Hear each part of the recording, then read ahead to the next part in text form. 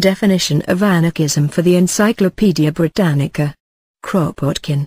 Anarchism, a definition Anarchism, from the Greek in, and arch, contrary to authority, is the name given to a principle or theory of life and conduct conceived by a society without government, in which harmony is obtained, not by submission to law, nor obedience to authority, but by free agreements established between the various groups, territorial and professional, freely constituted for production and consumption, and for the satisfaction of the infinite variety of needs and aspirations of a civilized being. In a society developed on these guidelines, voluntary associations that have already begun to cover all fields of human activity would acquire an even greater extension to the point of replacing the state in all its functions.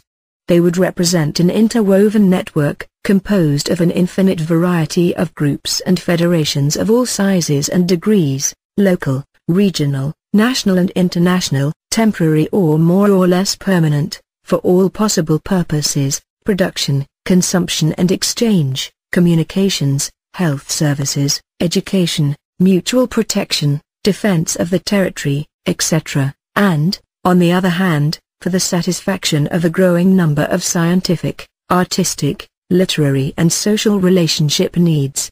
Furthermore, such a society would not claim to be immutable.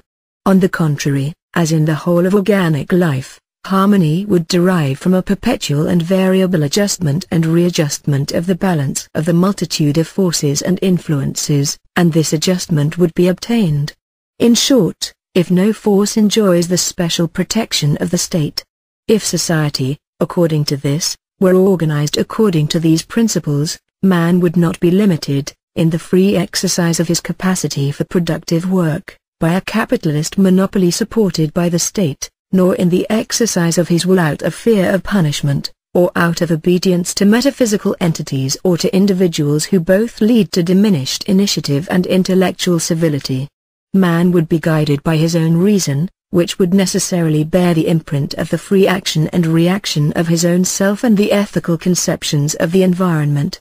Man could thus achieve the full development of all his powers, intellectual, artistic and moral, without being forced to work exhaustingly for the monopolists, or hampered by the civility and intellectual inertia of the great majority.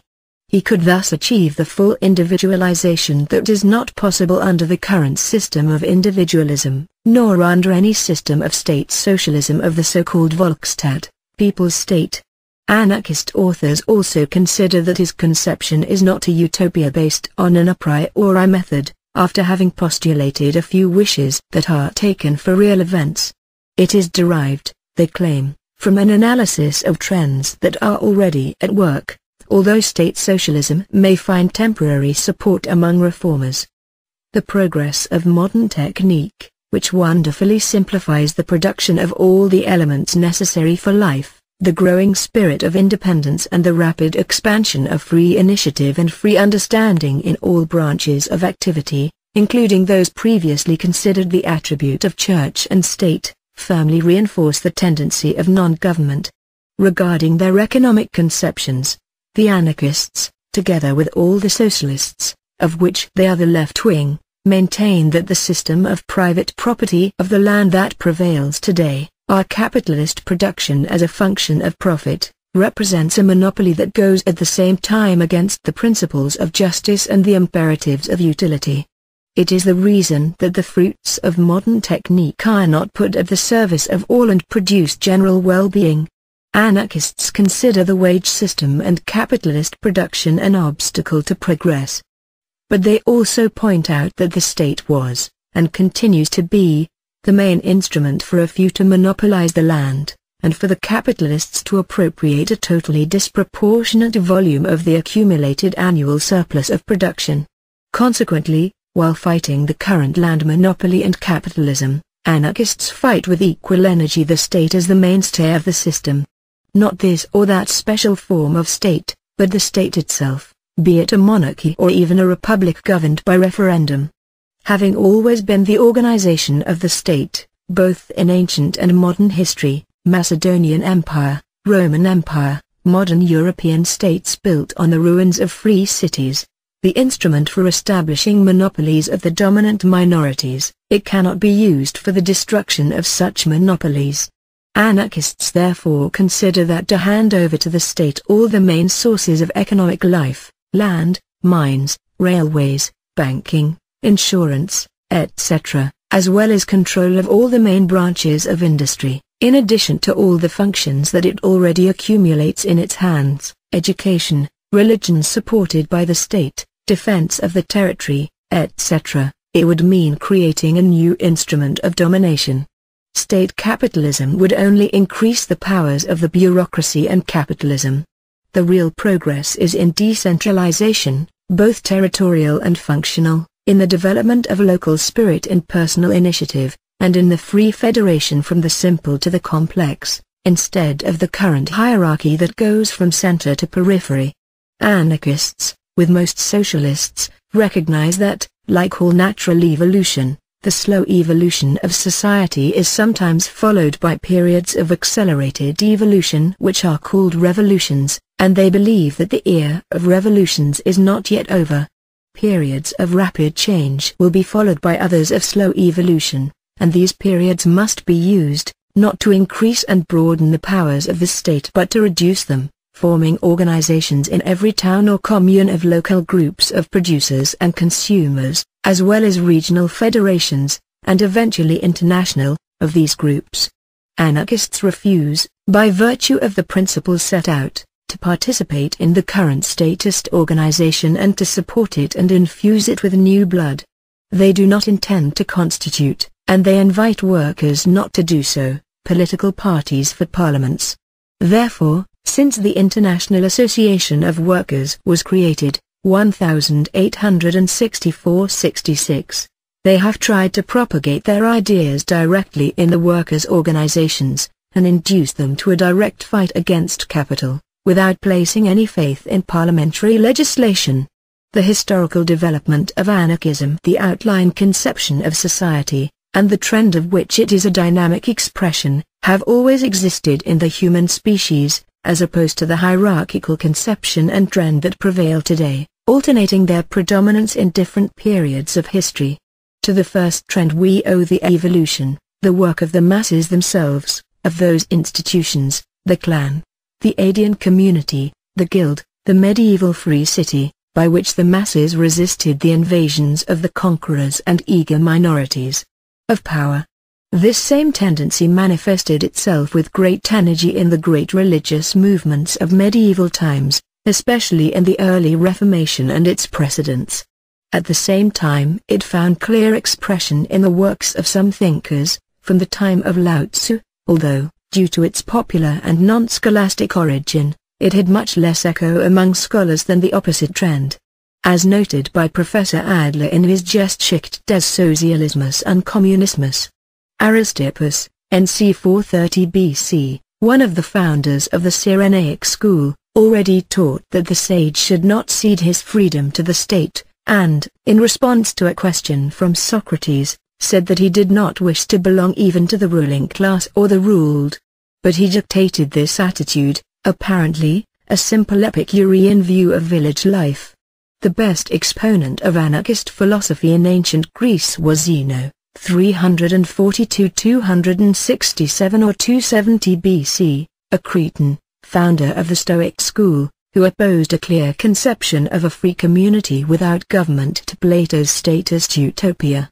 He repudiated the omnipotence of the state, its interventionist and regulatory character, and proclaimed the sovereignty of the moral law of the individual, underlining since, although the necessary instinct of self-defense leads man to selfishness, Nature has provided a corrective by giving man another instinct, the social.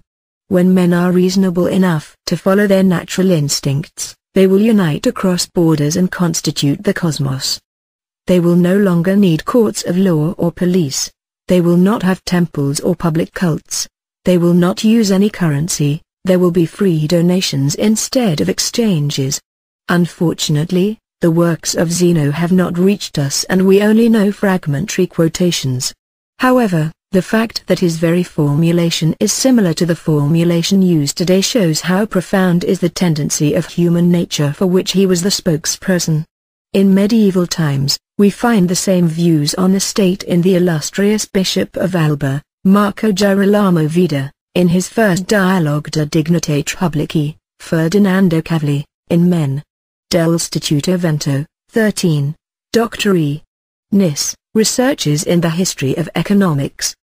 But it is mostly in various early Christian movements, beginning in the 9th century in Armenia, and in the preaching of the early Hussites, especially Chojeki, and the early Anabaptists, especially Hans Denk, Keller, Ein Apostel der Wiedertäufer, where we find the same ideas vigorously expressed, emphasizing, of course, above all, their moral aspects. Rabelais and Fenelon, in their utopias, also expressed similar ideas, frequent also in the 18th century among French encyclopedists, as can be deduced from isolated expressions that are found sporadically in the works of Rousseau, in Diderot's preface to the Voyage of Bougainville, etc. However, such ideas could not develop then probably because of the strict censorship of the Roman Catholic Church.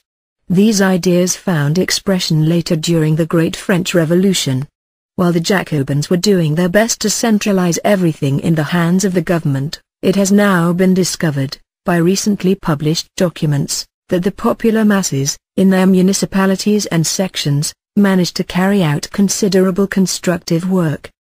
They were awarded the choice of judges, the organization of supplies and equipment for the army and the big cities, they provided jobs for the unemployed, they directed charitable works, and so on. They even tried to establish a direct correspondence between the 36,000 communes of France through a special council, outside the National Assembly, Sigismund Lacroix, Actes de la Commune de Paris. It was Godwin, in his inquiry concerning political justice, 2 vols, 1793, who first formulated the political and economic conceptions of anarchism, although he did not give such a name to the ideas expounded in his remarkable work. Laws, he wrote, are not the product of the wisdom of our ancestors, they are the product of their passions, their shyness, their envy, and their ambition. The remedy they offer is worse than the ills they claim to cure. If all laws and courts were abolished, and only in that case, and if lawsuits arising from reasonable men chosen for this purpose were left to decide, then genuine justice would gradually be created.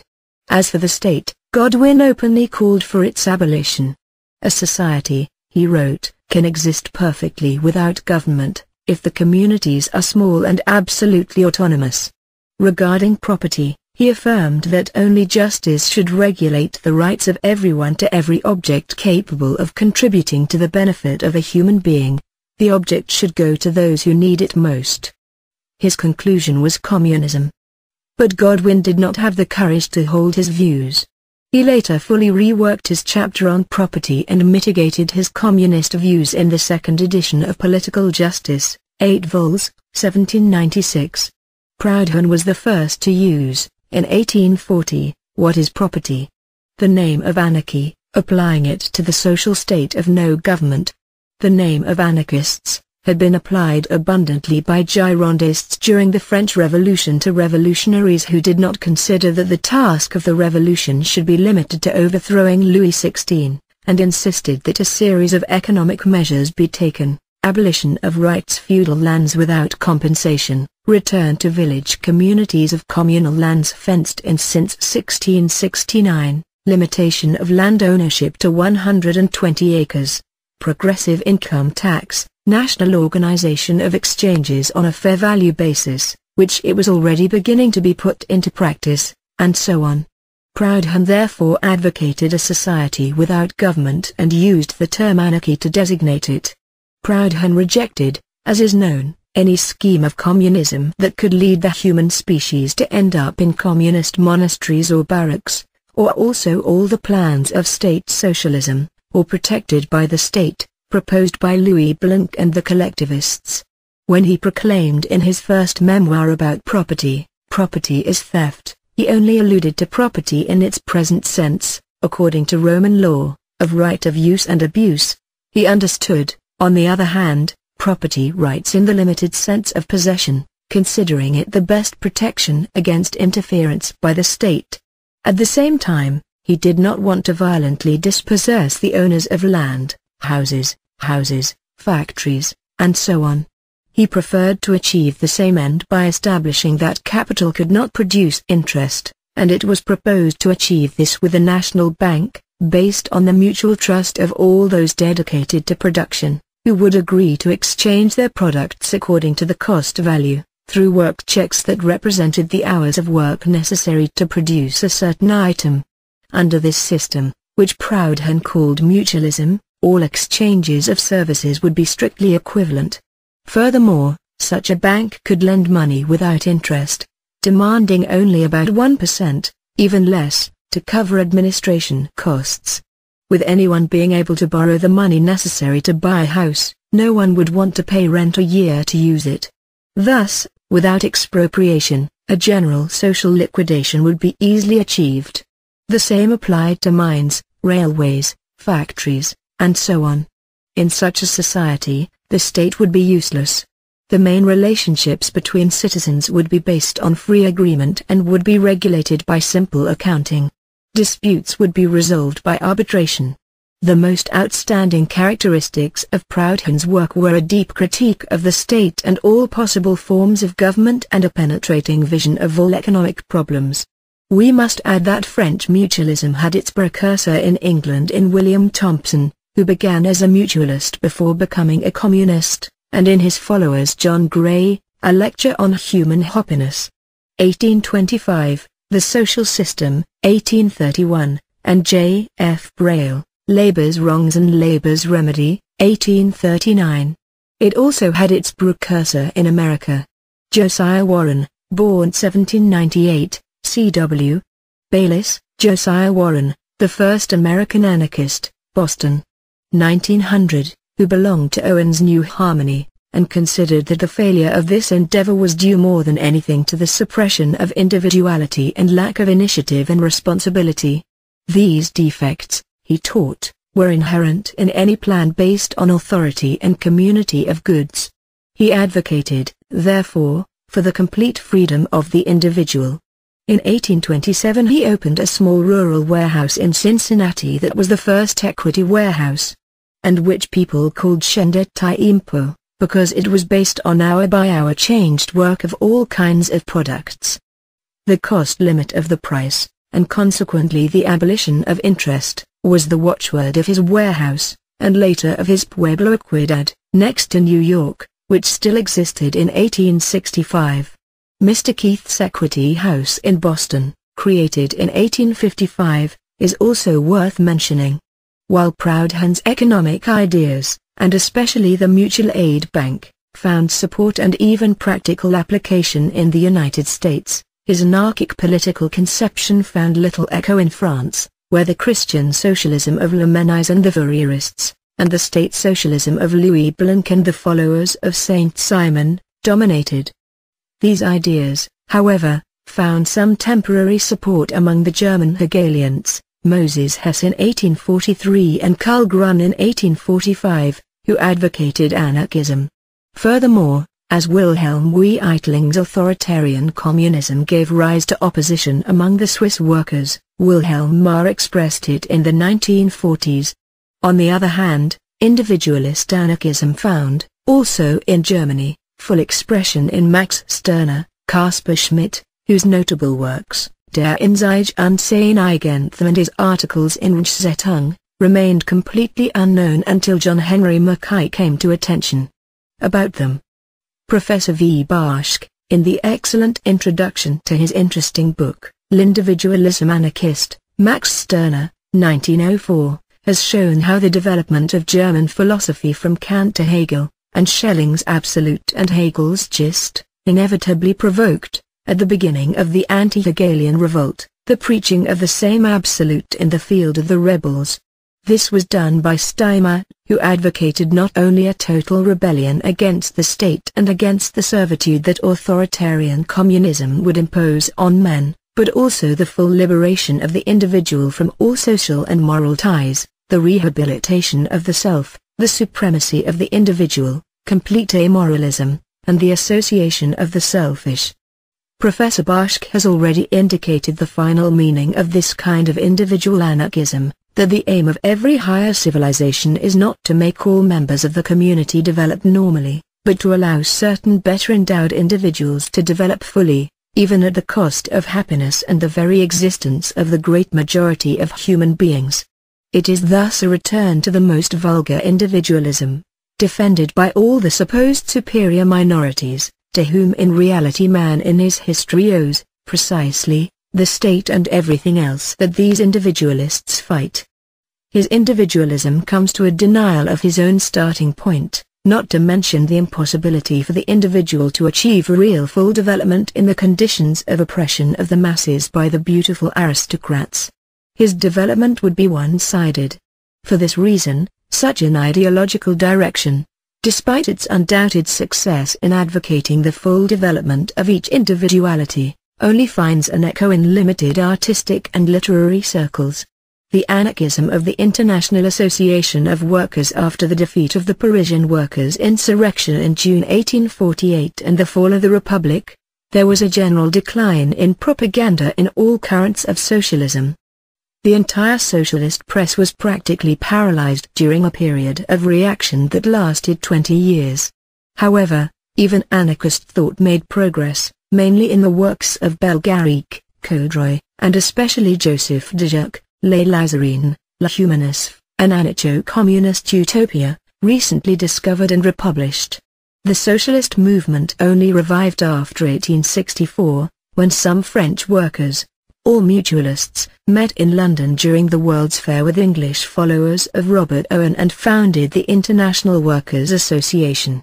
This association developed very quickly and adopted a policy of direct economic struggle against capitalism, without intervening in parliamentary political life, and continued this policy until 1871.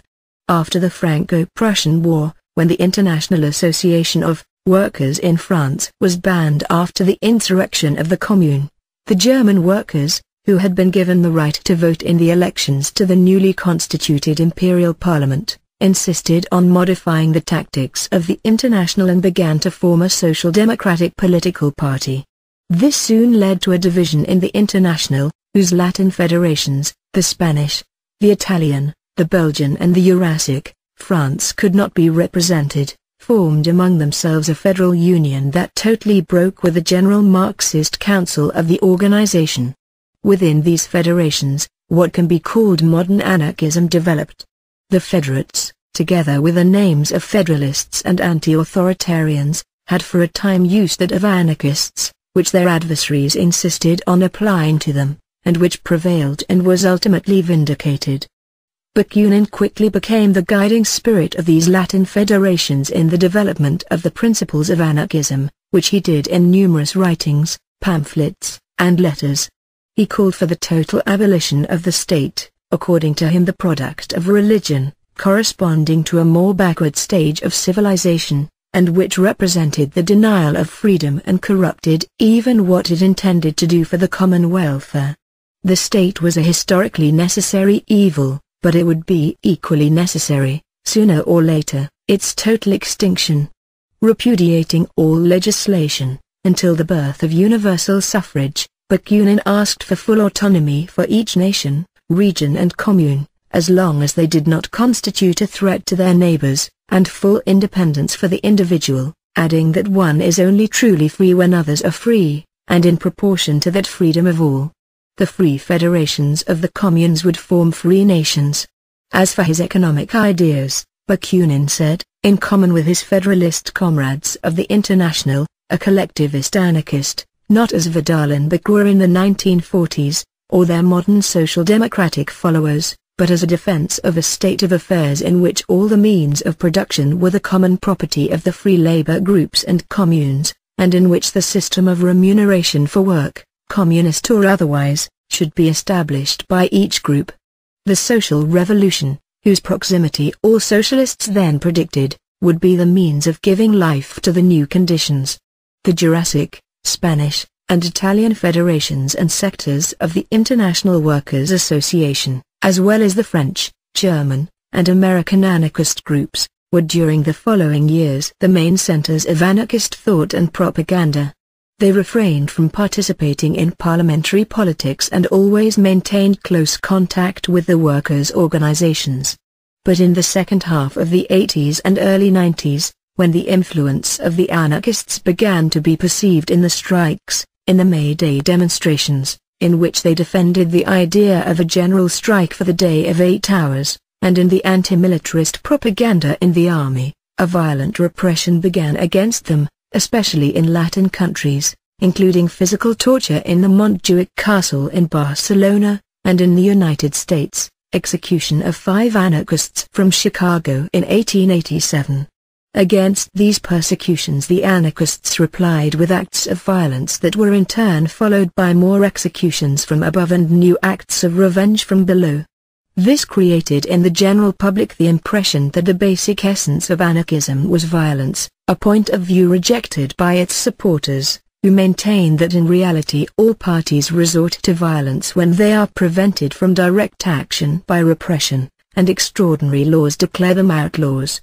Anarchism continued to develop, partly in the Proudhonian, mutualist, direction, but mostly as anarcho-communism, to which was added a third direction, Leon Tolstoy's anarcho-Christian, and a fourth that could be called literary anarchism, and started by some prominent writers modern. Proudhon's ideas, especially regarding mutual banking, correspond to those of Josiah Warren, and found considerable echo in the United States giving rise to a different school, whose names can be found in the bibliography of the Anarchy of the United States. Dr. Nettlau. He has held a prominent position among the individualist anarchists of America, Benjamin R. Tucker, whose Liberty newspaper was founded in 1881, and whose ideas are a combination of those of Proudhon and Herbert Spencer. Starting from the principle that anarchists are selfish, strictly speaking, and that each group of individuals, be it the secret league of a few or the Congress of the United States, has the right to oppress all the rest of the human species, always that he has the necessary power, that equal freedom for all and absolute equality must be law, and that taking care of each one of his own affairs is the only moral rule of anarchism. Tucker goes on to show that a comprehensive and general application of such principles would be beneficial and not dangerous because the powers of each individual would be limited by the exercise of the equal rights of all others. He then indicated, following H. Spencer, the difference that exists between the usurpation of someone's rights and the resistance to that usurpation, between domination and defense, the former being equally reprehensible, either the usurpation carried out on an individual by a criminal, or that of one over all others, or that of all the others over one, while resistance to usurpation is defensible and necessary. In their own defense, both the citizen and the group have the right to any violence, including capital punishment. Violence is also justified to make respect for an agreement mandatory.